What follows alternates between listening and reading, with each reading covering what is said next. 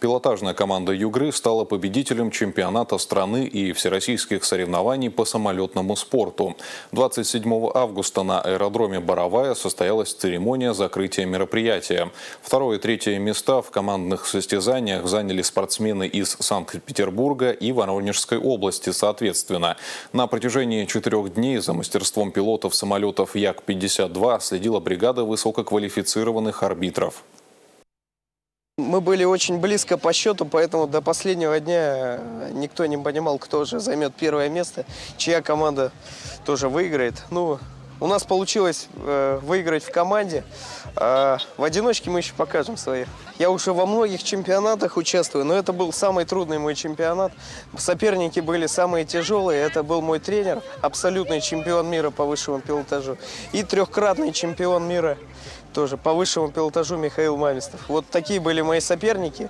Ну, я с ними попытался побороться. В общем, показал хороший результат. Я считаю, что это очень хорошо. Поэтому, ну, все удалось. Слетали как? Слетали, э, в общем-то, старались, да, в силу своих возможностей, вот Максим правильно говорит. И, а дальше уже, как, как судьи оценили, так и получилось, да, поэтому тут э, считаем то, что результат все равно хороший, Э, и будем готовиться к следующему сезону. Я вот очень-очень доволен тем, что получилось э, поучаствовать в соревнованиях и, в общем-то, рад, что удалось посетить город Сургут. На чемпионате России по самолетному спорту фигуры пилотажа демонстрировали летчики и летчицы из Калуги, Самары, Перми, Москвы и других городов. Свидетелями первых соревнований в истории всего Уральского федерального округа стали сотни сургутян.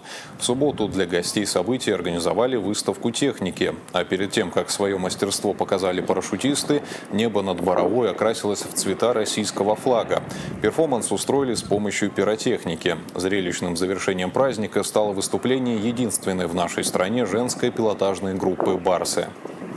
Сегодня, вот, встречаясь с нашими э, жителями, особенно с, молодыми мальчишками, маленьким, подрастающим поколением, эти искрящиеся глаза, которые у них, это дает возможность для того, чтобы вот такие соревнования, что появятся новые летчики, появятся новые наши чемпионы, когда люди занимаются чем-то очень интересным в своей жизни, и они горят этим. И отсюда вкладывают какие-то ресурсы, ресурсы человеческие, физические, ресурсы материальные. И вы понимаете, что может получиться вот так.